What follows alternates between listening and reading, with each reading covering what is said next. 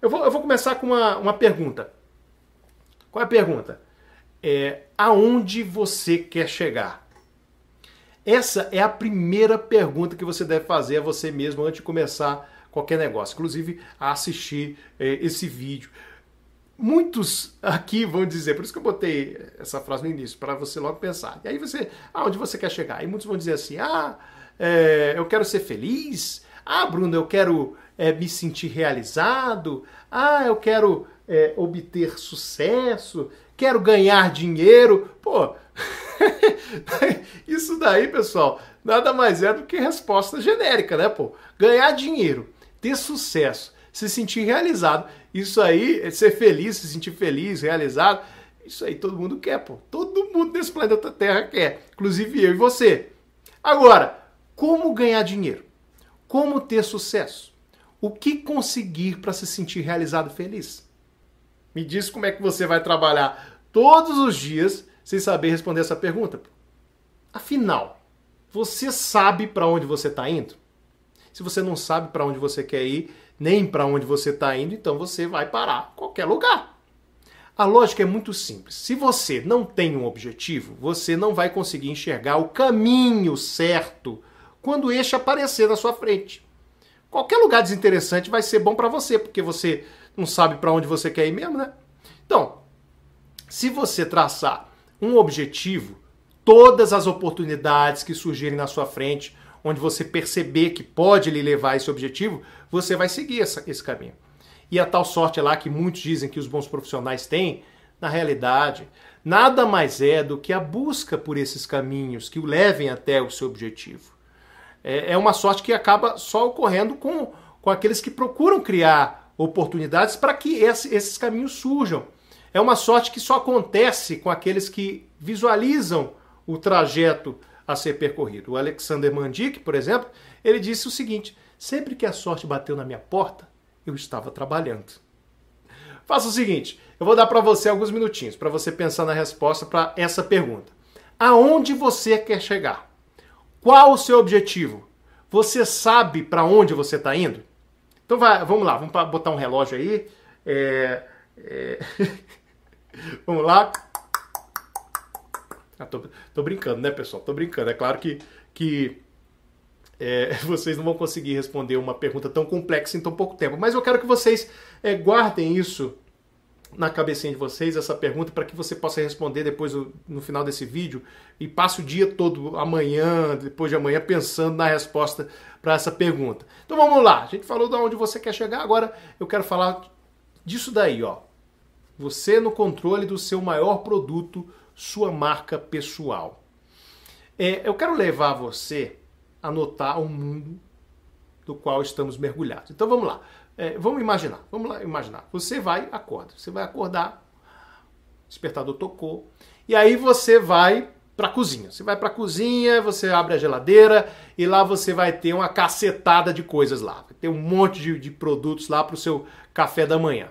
Né? E aí tem várias marcas dentro da sua geladeira. Mas, mas tem aqueles que não tem tempo, não tem tempo de fazer café, né? não tem tempo de ir no supermercado, botar na geladeira as coisas e tal. E aí você acaba vendo uma geladeira vazia. Então o que, que você faz? Você pega o carro e vai e vai comer alguma padaria. Chega lá na padaria, tem, não tem só pão, tem um monte de marcas lá. É, você pega o cardápio, tem um monte de coisas lá também, um monte de produtos. Aí você, não, vou fazer supermercado, porque supermercado aí eu economizo mais meu café da manhã. Beleza. Aí você vai é, e chega lá, tem mais de 60 mil marcas para você escolher. Você entra no carro, o pessoal, ó, falando no seu ouvido lá, ó, no rádio, um monte de marcas também. Então o que, que vai acontecer? Vai chegar no final, chega no final do, do dia, você já tem visto uma cacetada de marcas, um monte de marcas. E o que, o que, o que, que acontece? Você também é uma marca. Uma marca disputando com todo esse caos, com esse monte, milhares, milhões de marcas em volta da, da pessoa, disputando um segundinho do tempo dela. Um tempinho, um milímetro do tempo dela. Né? Só, só conseguir um segundo já é maravilha. E você também está disputando esse um segundo com essa galera toda. Não é? Então você deve estar tá percebendo que eu estou dizendo que você é, é uma marca como qualquer marca de produto. Essa é a realidade. Pode parecer estranho, pode parecer bizarro, né, comparar você a uma lata de molho de tomate, mas essa é a mais dura realidade do mundo capitalista do qual vivemos. E para a gente crescer nesse mundo, a gente precisa aceitar que a gente vive numa sociedade de consumo onde produtos, serviços, marcas e valores são percebidos e comercializados o tempo inteiro. Por isso, é muito importante a gente procurar nos diferenciar dos demais produtos é, que nos cerca. Uma forma da gente fazer isso é descobrindo como nós somos percebidos pelo público. E o que hoje nos faz diferentes dos nossos concorrentes não são mais as pós-graduações, a experiência, os idiomas, os cursos que fazemos, mas os adjetivos percebidos pelo público sobre nós. Claro que especializações e cursos são excelentes, são excelentes para o nosso currículo, isso aí sem dúvida. Mas como hoje todos os profissionais têm esse nível teórico, tornou-se algo apenas fundamental, como é a alfabetização, é o ensino médio completo. É algo necessário que hoje todo mundo tem. Com tantos profissionais tecnicamente capazes, um único adjetivo positivo pode fazer uma enorme diferença no seu marketing pessoal. Dar adjetivo aos outros, resumindo a pessoa em uma só palavra, é algo que a gente faz toda hora. Pô. Basta você estar numa mesa com um amigo, por exemplo, você está lá, aí você vê um amigo passando lá do outro lado, um outro amigo. E aí você diz para esse amigo que está na mesa, pô, olha lá o Oswaldo, aquele cara ali, aquele cara ali é muito engraçado. Se você fosse o Oswaldo, sabendo que as pessoas lhe consideram engraçado, então você podia direcionar toda a sua imagem para o bom humor, fortalecendo essa identidade de pessoa sorridente, engraçada e simpática que você de fato seria. Mas como descobrir a palavra que nos representa? Existem duas formas.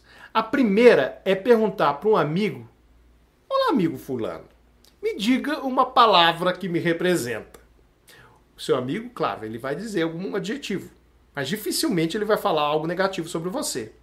Pode até falar para os outros, mas para você não.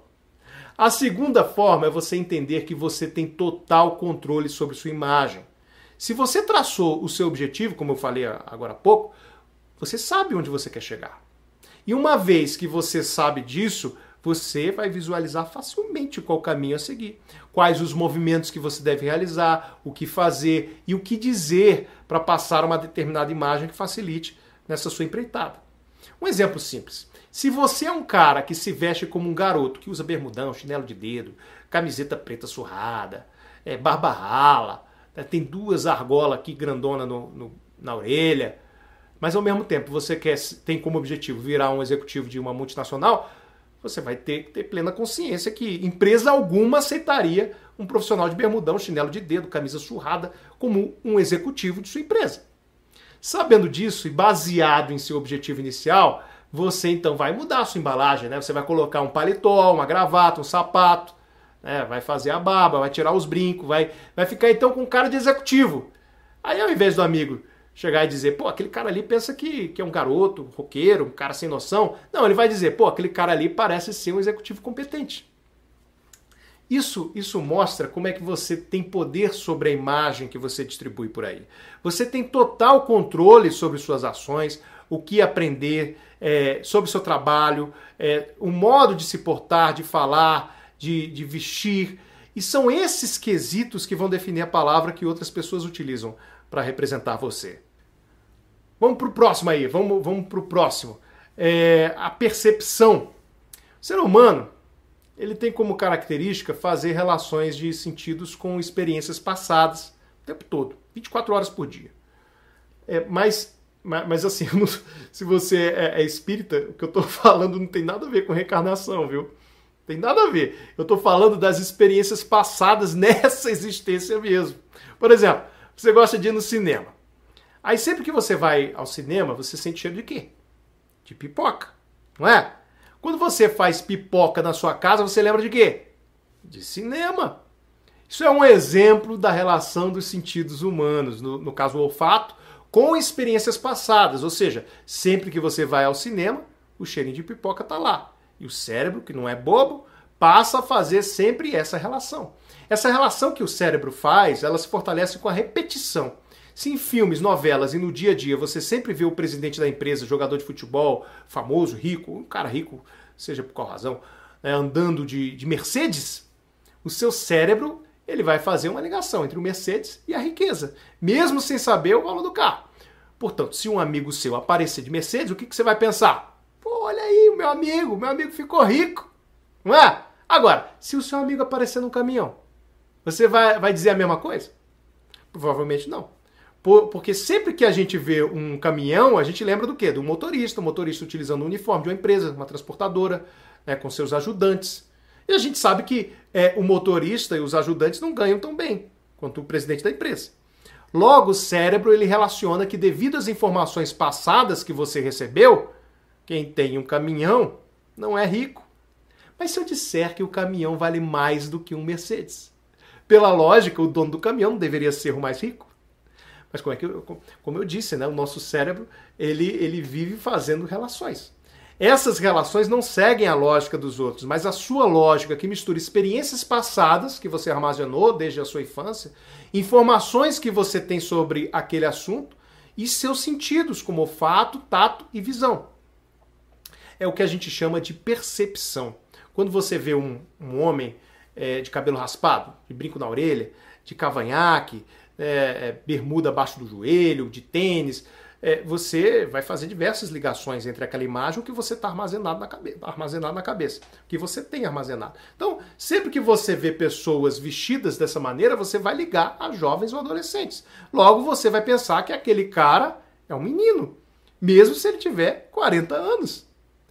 As marcas chamadas de grife, por exemplo, a Louis Vuitton, a Prada, o Calvin Klein, Tommy, eles são bons exemplos de empresas que se baseiam na percepção dos seus consumidores para fazer o seu marketing. É, não importa se a bolsa é feita na China, no Vietnã, nas Filipinas, não importa o tipo de material, o que importa é a marca estampada na bolsa. Primeiro, a empresa chega lá, promove desfile com lindas modelos vestindo seus produtos, e isso já cria uma experiência, né? já cria uma experiência visual onde a consumidora vai ligar aquele produto àquela mulher que está sendo admirada é, e muito fotografada ao desfilar pela passarela. Aí depois a mesma consumidora vê as mesmas roupas dessa marca, da marca X, por exemplo, sendo utilizadas por atrizes famosas, né, e, e, isso acaba reforçando uh, essa ideia, essa ideia que ela vai ter, a consumidora vai ter de pessoas admiradas usando aquelas roupas. Toda mulher, toda mulher quer ser admirada. É, isso é verdade. Então, quando ela está lá, essa mesma consumidora, ela chega na loja e ela encontra essas peças de roupa da marca X à venda na loja, imediatamente o cérebro da consumidora vai lembrar de todas as experiências que ela teve com aquela marca e aquela peça de roupa. E o que ela faz? Ela compra. Isso não ocorre somente com a indústria da moda, mas empresas de automóvel, né, ele faz o mesmo esforço de marketing para fortalecer uma boa percepção dos seus produtos, já sabendo que o seus consumidores fazem relações de experiências com a marca. Mesmo ocorre com a indústria alimentícia, de beleza, de saúde. Enfim, todas as grandes empresas hoje trabalham a percepção dos seus clientes como item fundamental do marketing. Já falamos aqui sobre é, como nós somos o nosso próprio produto. Por isso, a gente tem total controle sobre a percepção que os outros têm da, da gente. Assim como as grandes empresas, a gente precisa planejar quais os sinais que devemos emitir para que os clientes nos percebam da maneira que gostaríamos. O tempo todo você está emitindo sinais da sua marca pessoal. Isso é, se faz pelo modo de se comportar, pela aparência, a aparência que você transmite, as pessoas com que você anda, a forma como você apresenta o seu trabalho, a maneira como você se comunica e por aí vai. São 5 a 20 horas de interação com amigos, familiares, colegas de empresa, vizinhos, transmitindo esses sinais para todos. Eu vou citar um exemplo que muito provavelmente já, já aconteceu com você. Você se lembra a primeira vez é, que você foi no médico? Lembra? Aí você foi lá, chegou lá, aí você pediu pro, pro, pro, pro médico para você olhar o diploma dele? Você viu o histórico das notas dele na faculdade? Será que ele só tirava nota 10 ou ele era um médico que, que vivia passando com média 7? Será que ele fez alguma pós-graduação em outro país? Hein? Então, se você não conseguiu, você não investigou nada disso, como pode você saber se ele é um bom médico? Ah, Bruno, foi a indicação de um amigo e fui no médico, fui curado e eu tô aqui numa boa. Sim, claro. Tá bom. Claro, que bom que deu, deu tudo certo. Que bom que você está curado. Afinal, você conseguiu o produto esperado, que no caso é ter a sua saúde de volta. Se sua saúde não voltasse, aí, aí provavelmente você estaria xingando o médico agora. Agora, a pergunta, a pergunta que eu faço é a seguinte: o que faz de um médico ser melhor do que as outras centenas de médicos que possuem a mesma especialidade? Na verdade, o que eu estou querendo dizer é que na maioria das vezes a gente compra outros sinais que não o principal, que nesse caso é a saúde restabelecida. Afinal, como explicar quando vamos a dois médicos com a mesma especialidade, no final das contas temos a mesma solução e mesmo assim escolhemos um deles como o preferido, dizendo para todos os amigos, todos os familiares que ele é um excelente médico? Aí você para, para para investigar por que, que você achou um médico melhor do que o outro, mesmo tendo a mesma especialidade e solução. O médico que você gostou, ele fica localizado num bairro agradável, onde é fácil estacionar. O prédio onde está localizado seu consultório é novo, é limpo, é bonito. E o consultório é todo decorado, todo bem iluminado. A secretária é sorridente, muito simpática. Na espera você encontra revistas da semana, café, chocolate quente e até um PlayStation. Você encontra até um PlayStation com FIFA, tá lá pra você jogar. Só que não tem, não tem como desfrutar muito do jogo porque o médico, ele, ele atende na hora, com um sorriso no rosto, é atencioso, sabe se comunicar, fala tudo sobre o seu problema, responde suas dúvidas antes mesmo de você perguntar e no final ele lhe receita a mesma coisa que o médico concorrente. O diagnóstico é o mesmo. O remédio receitado é o mesmo. Só que a impressão das duas marcas de médicos são completamente diferentes. Agora, pode ser que o médico que você não se impressionou tenha uma experiência muito maior do que aquele que você gostou. Mas como esse médico levou em consideração é, a percepção do cliente, aí tudo foi pensado para que os clientes entrassem numa atmosfera diferente de atendimento, de cortesia, agradabilidade, é, de simpatia, que os outros médicos não possuem. Isso é um exemplo claro de como temos total poder sobre a percepção que as pessoas terão sobre nossa marca. A pergunta que eu quero deixar no ar é a seguinte: que sinais a sua marca está emitindo nesse momento? Vamos para o próximo. Qual é o, o outro aí? A diferença é o seu maior valor. Já que nós somos é, o nosso próprio produto, a gente precisa nos reinventar o tempo inteiro. A gente tem que procurar ser diferente dos demais concorrentes, não é verdade? Se a gente se portar como todos os outros, a gente vai ver as mesmas coisas, chegaremos às mesmas ideias e a gente vai desenvolver os mesmos serviços. No final, a produção normal vai levar a resultados normais. E um mundo que o vencedor leva tudo, normal é igual a nada. Mas se estamos dispostos a assumir um pequeno risco, a quebrar paradigmas, a desrespeitar ali umas pequenas normas, umas pouquinhas normas, aí pelo menos uma chance teórica existe de que chegaremos a algo diferente, realmente conseguiremos um nicho, criaremos um produto diferenciado exclusivo e vamos ganhar 10 vezes mais que a concorrência. Tudo que se faz no marketing tem como único objetivo tornar a marca diferente das demais e acrescentar a essa marca algo único que possa ter valor de mercado para vender mais produtos e serviços que talvez sem o apelo do marketing, marketing jamais é, fossem vendidos. Basta você olhar então a sua volta. Olha aí a sua volta para você perceber a quantidade de cacareco que a gente compra, né? Pode olhar, ver aí onde você está aí no, em casa, no, no escritório, dá uma olhada cacetada de coisa que tem que a gente compra e, e, que se a gente pensar bem não tem nada de novo ou então são apenas futilidades. Por exemplo, um carro novo, um carro novo que faz a mesma coisa do carro anterior, ou seja, tem quatro rodas, tem volante, tem ar, direção, mas que você comprou só porque o desenho é diferente. Ou então um smartphone novo, smartphone novo que faz a mesma coisa do smartphone do ano passado, com a diferença que ao invés de ser preto, agora é branco e tem imperceptíveis 0,1 GHz a mais de velocidade. Mas mesmo assim, você comprou. Para o marketing de produto, sempre é possível enxergar um novo ângulo para o mesmo produto e vendê-lo como algo novo focando uma qualidade como a sua principal diferença, encaixando o produto um novo modismo, colocando uma pequena diferença no ingrediente para torná-lo algo novo mais uma vez, mudando a embalagem para dar impressão de novidade. Isso se faz o tempo todo no marketing de produto. Isso é corriqueiro, pois é relativamente simples de se fazer. Agora, quando a gente fala de marca pessoal, aí essas mudanças não são tão simples assim. É natural do ser humano, sobretudo na juventude, buscar ser diferente dos demais seres humanos. Porém, ao mesmo tempo que queremos ser diferentes, a gente vive o paradoxo de também querermos nos relacionar com pessoas de afinidades semelhantes, formando é, tribos, grupos, panelinhas, comunidades, onde todas as pessoas pensam da mesma forma, falam do mesmo jeito, com as mesmas, mesmas gírias, se vestem com as mesmas roupas, usam o mesmo penteado, gostam das mesmas músicas vão aos mesmos lugares, enfim, são pessoas iguais. E isso não acontece é, só com os jovens, não. Acontece com o pessoal mais velho, com os adultos, enfim. Você precisa ser diferente e fazer com que os outros percebam essa diferença. Veja, por exemplo, no meu caso. Em 95, eu, eu fui apresentado para um computador.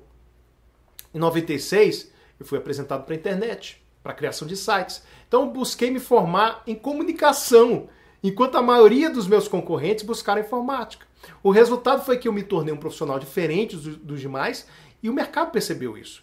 Os clientes eles viam as minhas criações com técnicas publicitárias que os outros profissionais eles não tinham em seus trabalhos. Então, quando eu comecei a criar vídeo tutorial é, sobre criação de sites, né, as minhas aulas, onde eu apresentei é, é, teorias de comunicação, de publicidade, é, eu acabei mostrando uma, um conteúdo que não a gente não encontrava em outros vídeos. É, como, como eu estava acostumado a aparecer na televisão durante a faculdade, onde a gente tem diversas disciplinas de rádio e TV, para mim não foi difícil aparecer no vídeo com, com essa desenvoltura. Isso é uma coisa rara da gente ver entre o pessoal que cursa computação. Por isso eu acabei me destacando facilmente por ser um profissional diferente dos demais.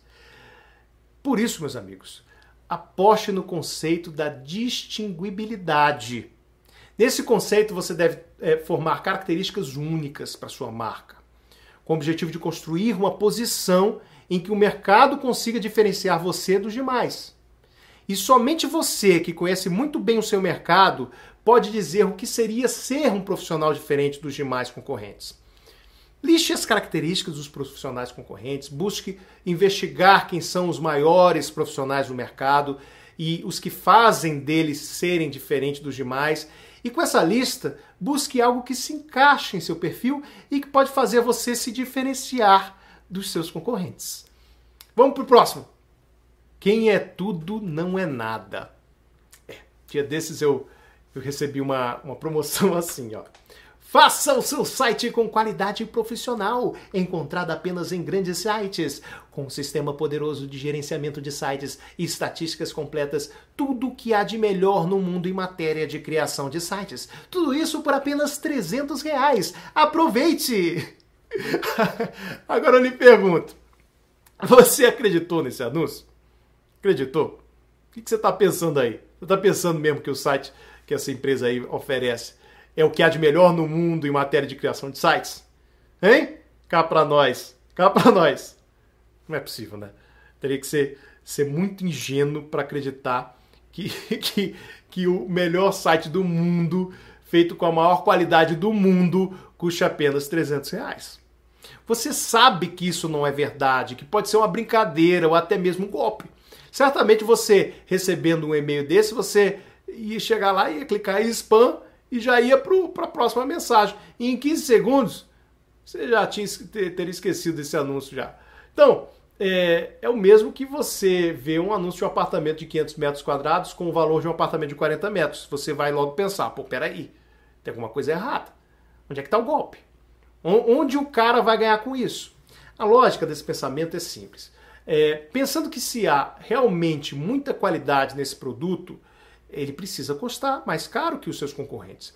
Logo, se a coisa custa mais barato, isso foge da lógica e soa como algo que não merece credibilidade. O que eu quero dizer com isso é que a construção da marca precisa seguir essa lógica. Não tem como você convencer alguém que você é bom em uma infinidade de coisas. Você precisa encontrar um assunto que você domine muito bem e se concentrar nesse assunto com toda a sua energia. Então você vai escolher um benefício diferente dos outros, dirigir o seu foco a ele com todas as suas forças e o que não dá é querer que as pessoas acreditem que você é bom em tudo, porque isso vai, vai soar contraditório, confuso de se entender. É mais fácil vender um benefício muito bem do que tentar vender centenas. O seu cérebro ele vai memorizar melhor e mais rapidamente que você é o melhor do mercado na área X do que acreditar que você é o melhor do mercado na área A, B, C, D, E, F, X, Y e por aí vai. Portanto, tenha em mente essa lei. Ser tudo é não ser nada. Vamos lá, vamos para o próximo. Cultive seus. Não, cultive defeitos. Cultive defeitos. Você deve estar achando estranho, né, pô? Cultivar defeito. Mas, pô, Bruno, isso não, não seria qualidades, não? É defeito mesmo que você disse? Não, eu tô falando mesmo, defeito. É isso mesmo. Mas não, não estranhe, não. Vou explicar para você o porquê. Vamos lá. Quando a gente faz marketing de produto, a gente busca mostrar apenas as qualidades dele, né? Claro. Na realidade, a gente só mostra as qualidades. É, a gente cria a imagem de que o produto é um produto infalível, não tem defeito nenhum. Porque quem é que compraria um produto, produto que você pode pegar, né? é, que assumisse ter um defeito? Ninguém, né? Ninguém vai, ninguém vai comprar porque isso vai contra qualquer controle de qualidade. Porém, a gente não está falando de produtos inanimados, produtos sem vida, a gente está falando de seres humanos. E uma das características de todo ser humano é que ele possui defeitos. E se ele não possuísse defeitos, ele seria um robô. Ele seria um boneco, menos um ser humano. Portanto, estamos falando de pessoas e pessoas possuem defeitos. Acontece que muitos, quando buscam colocar o marketing pessoal em prática, acabam querendo passar uma imagem real de que ele não tem defeito, de que não pode errar. Né? Assim se torna algo plástico. É, às vezes fala até como um robô, né? Pô, basta já os telemarketing, né? Porque é, qual o problema da, da atendente de telemarketing? É que ela é certinho demais. Ela não fala nada que não seja o texto decorado. Ele acaba sendo é, muito perfe... É, ela acaba sendo muito perfeitinha, né, dando a ideia de que a, a gente está falando com um robô, uma gravação, não um ser humano. Sabendo disso, você é, não, não vai sair por aí falando como se fosse tudo decorado, com um sorriso plástico, soando falso. Seja você, uma pessoa que fica feliz, fica triste, tem seus defeitos Veja, por exemplo, grandes ídolos. Grandes ídolos possuem também defeitos. Todos possuem defeitos. Roberto Carlos. Roberto Carlos, ele é conhecido por suas manias, né? De só usar azul, de só sair pela mesma porta, né? E outros tiques nervosos. O Faustão. Faustão, apesar de alguns não gostarem, né? Ele é, sem dúvida, um dos maiores apresentadores brasileiros, né? Tanto que está aí até hoje, aí na, não sei quantos mil anos já na televisão. Porque dá ibope, né? E, e um dos seus defeitos conhecidos é, é que, e que se tornou característica é falar demais. Ele fala tanto que, que interrompe o entrevistado. Né? É, se ele não faz se ele não faz isso, ele, ele não é o Faustão. Romário. Romário foi um dos maiores jogadores de futebol do Brasil. Mas ele também era conhecido por ser um cara indisciplinado fora do campo, que não cumpria horários, faltava os treinos, né? acabava caindo em discussão, em briga, inclusive com a torcida mesmo tendo esses defeitos, ele é amado no Rio de Janeiro. Tanto que ele se elegeu deputado, quem sabe até vire governador. Ayrton Senna. Ayrton Senna é considerado por muitos um super-herói brasileiro. É, isso é, apesar desse status, ele também tinha defeitos. O Senna era tido como uma pessoa individualista, extremamente perfeccionista. É, procurar a perfeição não é problema, não tem problema nenhum. O problema é que isso levava ele a ser pouco tolerante com aqueles que falhavam em sua volta, os membros da equipe e tal. Já que a gente está falando de cena, o Nelson Piquet. Nelson Piquet foi outro ídolo brasileiro, tricampeão mundial de Fórmula 1, mas ele é tido como um sujeito briguento e que não tem nenhum carisma. Portanto, a construção da sua marca pessoal deve levar em consideração seus defeitos. Busque investigar os seus hábitos, as suas manias e escolha aquele que pode dar um colorido a mais na sua imagem, afastando aquela ideia de que você é um boneco de plástico. E claro, use o bom senso. Vamos para o próximo. Cadê? Qual é o próximo? Construindo uma boa história. É, todo mundo, todo mundo gosta de, de ouvir uma boa história. É, é, e perceba que por trás de grandes marcas sempre tem uma história bonita de superação. O Silvio Santos, por exemplo, é, que de camelô das, nas ruas do Rio se tornou dono de, de uma das maiores emissoras do país, o SBT. Tem a história do Abelio Diniz, né, que viu o crescimento do supermercado Pão de Açúcar. Ele viu o crescimento e a queda e a quase falência da empresa no final dos anos é, 90, chegando a demitir 22 mil funcionários e que em 10 anos reergueu a empresa ao ponto de tornar a maior rede varejista do país. A história do comandante Rolim Amaro, que criou a TAM, cuja frota é, era de um aviãozinho tec-teco, né? E a sede era lá na cidadezinha Marília, São Paulo, e ele levou a marca TAM a ser a maior empresa aérea do país. Todas as empresas bem-sucedidas têm uma história bonita ao seu favor. E perceba que essas não se envergonham de assumirem que passaram por dificuldades no passado ou cometeram erros. Pelo contrário, as dificuldades elas geram uma maior ideia de experiência e, e credibilidade. Né? Já que se a empresa passou por dificuldades e hoje ela é um sucesso, é porque hoje ela possui um conhecimento que poucas empresas do ramo possuem. Histórias de crescimento, enfrentamento das dificuldades, é, é, histórias de superação são componentes poderosos para agregarem valor à marca. Se você ainda está é, tá começando sua carreira, é, talvez é, essa ainda não seja o momento, não, não, seja o momento de revelar a sua história. Mas é, é a hora de você gravar na memória tudo que está passando com você. É, ou então tire fotos das suas conquistas, é, mas tire fotos também das suas derrotas, dos seus fracassos, do seu trabalho pesado, difícil, né, improvisando por não ter ainda condições. Tudo isso vai servir como material para montar a sua história de sucesso lá na frente. Já se você já passou por momentos difíceis e hoje está numa posição de sucesso, procure escrever a sua história, né? deixa, deixa ela pública como forma de valorizar a sua marca. Só não vale mentir, porque mentira tem perna curta. E se você quer passar valores como sinceridade, honestidade, aí começar mentindo, pô, mentindo a sua história, não é uma boa escolha, né? Vamos pro outro. Crie defesas. A sobrevivência de, um, de uma marca pessoal ela está atrelada a um mecanismo de defesa natural composta por três quesitos. Vamos lá. Faça algo que tenha valor de mercado. Isso é muito importante. É muito importante você descobrir uma habilidade sua da qual outras pessoas valorizem. Uma habilidade especial, diferente dos seus concorrentes, que você faça bem, mas que também lhe faça bem, que você goste de fazer. Então, é, procure lembrar dos seus projetos, aqueles projetos que deram certo, é, e tente descobrir qual habilidade lhe ajudou nisso. Talvez o sucesso não foi por conta de uma habilidade, mas de uma área de conhecimento que você domine muito bem. Eu, por exemplo, eu tenho algumas habilidades que eu identifiquei né, e eu, eu acabo trabalhando em cima dessas habilidades. Eu gosto de falar em público e eu, eu acredito que eu consigo fazer bem isso. É por isso que eu estou aqui com a cara no vídeo, né? Eu gosto de aparecer aqui no vídeo, eu gosto de editar os vídeos, por isso eu escolhi essa maneira de mostrar o meu trabalho. É, eu gosto de ensinar, é, por isso é, eu estou fazendo um vídeo onde eu pratico a habilidade de ensinar os outros. E o melhor de tudo, eu gosto de fazer isso. E as pessoas se interessam por esses vídeos, logo possuem valor de mercado. Se você não sabe que habilidade você tem, busque construir um posicionamento diferenciado. Para isso, busque listar os diversos diferenciais dos seus concorrentes para descobrir, então, em que você pode ser diferente em relação a esses diferenciais. Agora, é fundamental que essa habilidade tenha valor de mercado.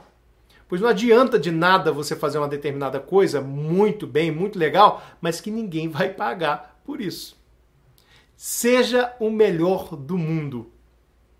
Eu estou falando de excelência. Você precisa focar nisso. Se você já se acha bom, não fique acomodado. Procure ser melhor ainda. Nunca pare de aprender e de procurar mais conhecimento. Estabeleça metas desafiadoras. Não fique conformado em achar que o que sabe já é o bastante ou que é muito bom no que faz. É preciso ser o melhor do mundo, se tornar a referência. Parece ser uma meta impossível, né? Ser o melhor do mundo. Mas ao tentar ser o melhor do mundo naquilo que você faz, com certeza você, no mínimo, se tornará melhor do que muitos e isso manterá sua marca pessoal sempre em destaque. Tenha amor pelo que faz. Você já deve ter lidado com profissionais que amam o que fazem, já deve ter topado com um desses por aí, né? Tudo bem, pode ser até raro um pouco, mas, mas existe, né? Aquele cara que ama o seu trabalho. E você pode perceber que quando você fala sobre aquilo que, que essa pessoa gosta, esse profissional gosta, né, falando sobre o seu trabalho, eles falam com o mesmo entusiasmo de um namorado apaixonado por sua amada. É, essas pessoas fazem o que gostam e deixam claro isso e isso nos deixa encantados. Isso nos faz pagar muito mais só para ter essas pessoas do nosso lado. Os que, os que amam o seu trabalho, eles consideram a segunda-feira um dia animado. Enfrentam a semana com suavidade, controlando melhor o estresse. E têm uma vida prazerosa, feliz e produtiva. Aí está a receita de uma defesa à prova de qualquer altos e baixos de carreira. Profissionais que conseguem trabalhar sua marca com esses, esses três aspectos viram estrelas do mercado. São desejados e disputados onde nunca falta uma nova oportunidade. São pessoas que ganham 10 vezes mais do que a concorrência. Improvise. Uma das coisas que, que fazem com que as pessoas não coloquem suas estratégias em prática é achar que não é possível se promover por ter sérias restrições orçamentárias. Mas não é bem assim, não. Não é, não. É preciso que você aprenda a trabalhar com o que você tem. É justamente quando temos poucos recursos é que surgem as melhores ideias. Eu vou contar para vocês três situações que poderiam me impedir de colocar essas estratégias em prática, mas através do improviso eu consegui resolver o problema. Então, é, eu espero que essas histórias sejam inspiradoras para despertar em vocês a arte do improviso. Então vamos lá. O primeiro caso foi na criação do DVD Profissão Web Design. Eu tinha câmera, eu tinha luz, é, mas eu não tinha um estúdio em casa que me garantisse uma boa qualidade de áudio. Então a gente sabe que é, produzir um DVD é diferente de fazer um vídeo para o YouTube. Né? No YouTube o espectador sabe que ali ele vai encontrar vídeo gravado em celular, é, vídeo com qualidade de áudio ruim, já, né, normal, pode acontecer, não tem problema nenhum. Já ao comprar um DVD, aí o espectador ele espera uma excelente qualidade de áudio, né, uma excelente qualidade de vídeo. Portanto, eu tinha qualidade de vídeo, mas eu não tinha o de áudio. Eu, eu, eu não tinha como transformar o meu quarto na época, né, que eu é, fazia no quarto, quando eu morava ainda com minha mãe, né? Eu não tinha como transformar aquele quarto num estúdio. E, e isso seria caro, levaria muito tempo e, e, não tinha como alugar um estúdio. Então, certo dia eu eu estava dentro do carro e eu falei dentro do carro. Eu falei dentro do carro, né, com alguém, não me lembro. E aí eu percebi a excelente acústica que, que, que, o carro tinha, ali dentro do carro tinha. E é claro, o carro ele tem todo um projeto acústico para não deixar os barulhos externos entrarem dentro do habitáculo, né? Então todo carro ele é forrado e o som dentro dele fica perfeito. Então, na época, eu, eu morava né, na casa dos meus pais, né, era uma casa, então o que, que eu fiz? Eu comprei um cabo de microfone bem grande, coloquei o carro do lado da janela do quarto, entrei no carro com o microfone e o, not e o notebook, né, o microfone e notebook, e gravei toda a narração do DVD dentro do carro. O resultado foi uma excelente qualidade de áudio, que ninguém percebe que foi gravado dentro de um carro. Se tivesse me levado pela dificuldade de ter uma boa acústica para gravar o áudio, talvez eu nunca tivesse criado esse DVD. Vamos para o segundo exemplo. O segundo exemplo vem do projeto Causos Reais de um Web Designer, que eu fiz em, em 2007. É, eu precisava simular um estúdio virtual de televisão, como você pode ver aí ó, no vídeo aí, ó. Tá passando aí o vídeo. Para fazer esse, esse efeito aí, eu precisava utilizar um recurso chamado Chroma Key. Chroma Key nada mais é do que a utilização de um fundo verde ou então fundo azul, onde é inserido via computador uma imagem é, nessa cor. Portanto, tudo que for verde, o computador substitui por uma imagem. Então, assim é possível criar esse, esse efeito de realidade virtual, colocando o objeto da imagem em qualquer tipo de cenário. E então, ao, ao, pesquisar na época, eu vi que só tinha duas maneiras de ter o chroma key. É, talvez hoje não sei, né? Mas, mas naquela época só tinha essas duas maneiras. Uma das maneiras é pintando a parede com uma tinta verde especialmente feita para chroma key, que era muito caro e trabalhoso. Afinal, eu tinha que pintar uma parede, né? Ou então Ou então eu tinha que alugar um estúdio. É, mas eu queria ter a comodidade de poder gravar em casa e assim ter tempo de alterar e filmar na hora que eu quisesse. E além disso, eu precisava do chroma key no chão também, né? Porque pegar o chão todo também. Eu não podia pintar o piso, o piso da casa. Então o que, que eu fiz? Eu resolvi experimentar, por que não? É, custaria pouco é, e o resultado poderia ser bom. Então fui lá, fui numa loja de tecidos, comprei alguns metros de pano mais verde da, da loja, escolhi no olho o tal verde especial que ia servir para o chroma key, e um verde, é um verde bem vivo.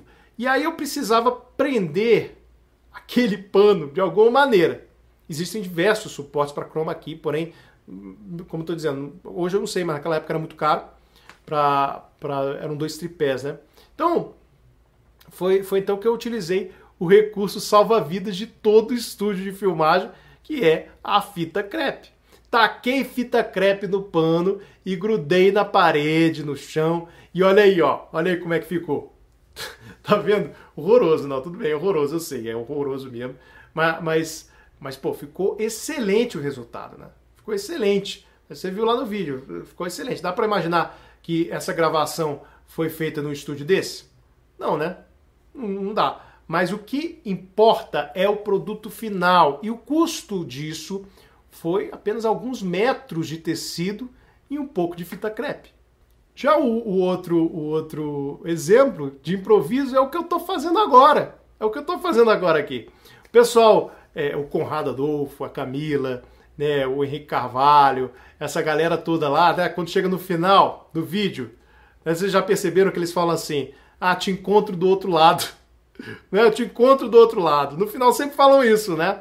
Pois eu vou mostrar agora para vocês uma imagem inédita na história, na história dos vídeos, hangouts, YouTubes do, do mundo. É inédito isso que eu vou mostrar para vocês. Eu vou mostrar para vocês o que tem do outro lado, né? Ah, te encontro do outro lado. Então vamos mostrar o que tem do outro lado. Vou pegar aqui a, essa câmera, vou mostrar para vocês, ó. Vou mostrar para vocês o que o que, que tem do outro lado, ó. Tô mostrando, deixa eu ver aqui. Ó, isso daqui é, é, é, o cara pode chegar e falar assim, não, Bruno, mas eu não, eu não tenho como fazer, eu não tenho como fazer isso porque um teleprompter é muito caro, né? Eu, eu, não, não, eu tenho que ter um investimento, tenho que pegar uma, um, um empréstimo no BNDES para montar um estúdio profissional e não sei o quê. Mas eu fiz questão de fazer essa, essa geringonça aqui para vocês verem que dá para fazer o que vocês quiserem com a improvisação. Olha só o que, que tem aqui. Isso aqui, pessoal, é uma caixa. Peraí, tá cheio de fio aqui. Ó, pessoal, se, se a transmissão aí cair, é porque eu tô puxando os fios aqui, ó. Ó, isso aqui é uma caixa, tá vendo? Uma caixa é, daquelas de guardar bijuteria, né?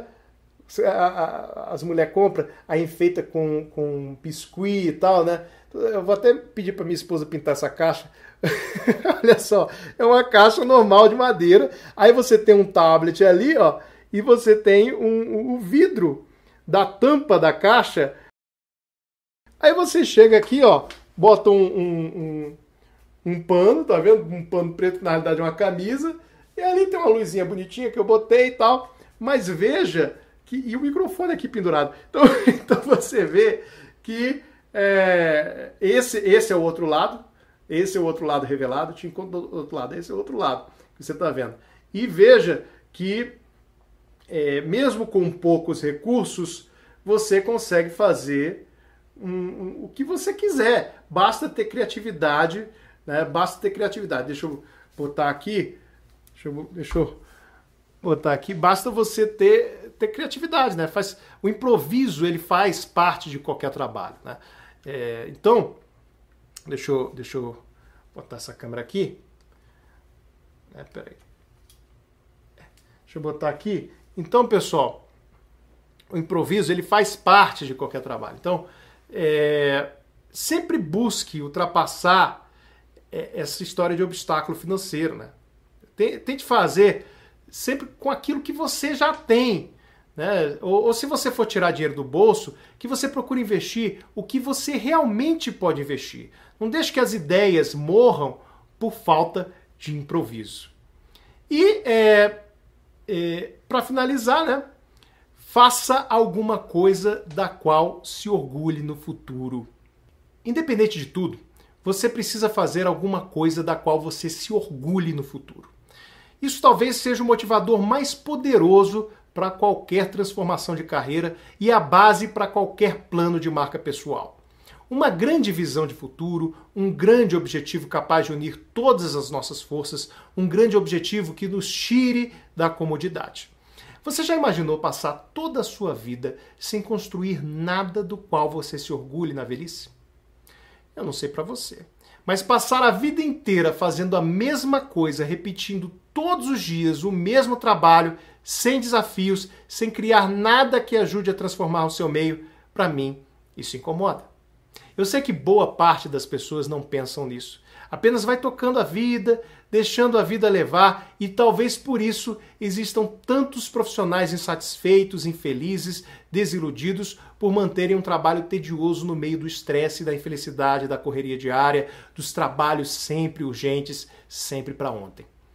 Eu não estou querendo dizer que você deve fazer obras grandiosas, como os políticos fazem, muitas vezes só para aparecer e ganhar voto, mas eu estou falando de coisas de que possamos nos sentir realizados por ter ajudado pessoas.